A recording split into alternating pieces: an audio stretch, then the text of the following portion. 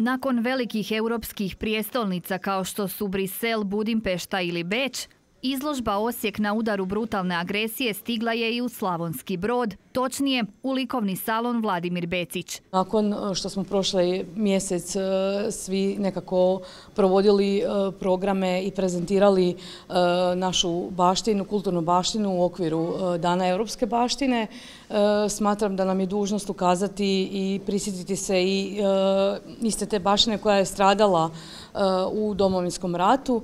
Riječ je o multimedijalnoj izložbi autora Zlatka Dernaja i braniteljske udruge Heroji Osijeka, koja kroz 40 fotografija i osmominutni film prikazuje ratna razaranja u Osijeku 90. godina.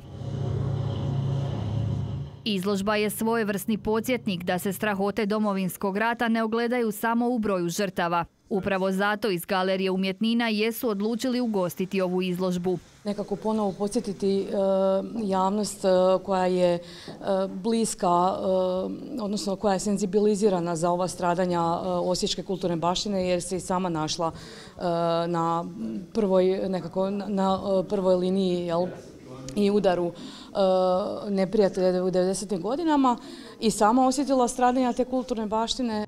Brođanima bi izložba mogla biti zanimljiva i zato što Slavonski brod i Osijek dijele sličnu ratnu priču. Svaki dan ste imali priliku čuti e, brojke, e, u vijestima, izvješćima poginulo toliko, ranjeno toliko, a naravno s tim da niste znali o kome se radi, tako da, kažem, zaista dijelimo tu tešku ratnu sudbinu na izloženim fotografijama mogu se vidjeti prizori ratnih razaranja kulturne i urbanističke baštine grada Osijeka, koja je u ratno doba uništena i u našem gradu. Drago mi je što evo, znači će i brođani imati priliku obići ovu izložbu, vidjeti u, našem gradu i kam prisjetiti se tih ratnih prizora koje smo kaj manje više uspjeli sanirati ovo izvana, te vidljiva oštećenja, ali naravno ono je osjećaje i, i, emocije koje ti prizori bude u nama koje smo ih preživjeli, kajem to je malo teže sanirati.